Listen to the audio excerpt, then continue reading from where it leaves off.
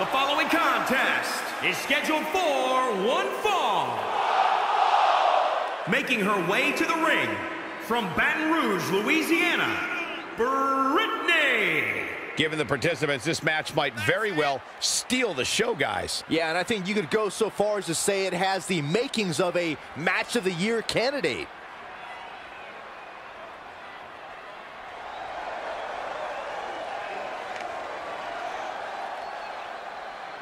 Earlier today, guys, she told me just how proud she is of what she's done in the ring as of late. But if I know her, Michael, she's not even close to being satisfied.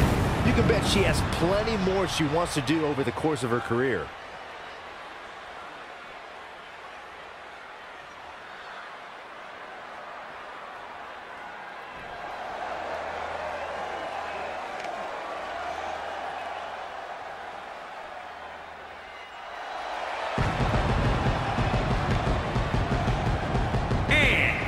From New York, the Queen.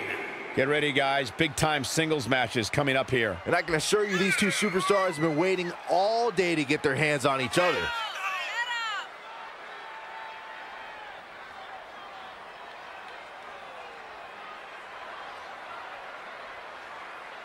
And I'd say this match will go a very long way in determining just who is WWE's most dominant woman.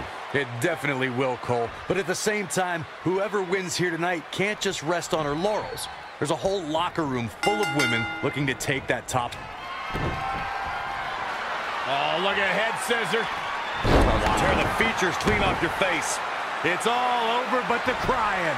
The pitfalls of gravity, Michael. Referee's calling for the bell. The match is over.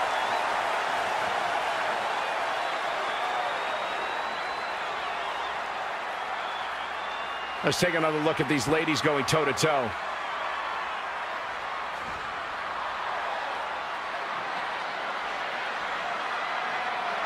Here is your winner, Brittany. Nice win. Got to be happy with that performance. Hey, she was the better woman of the two tonight. It's that simple. And it'll be interesting to see the ripple effects this win has in the weeks to come.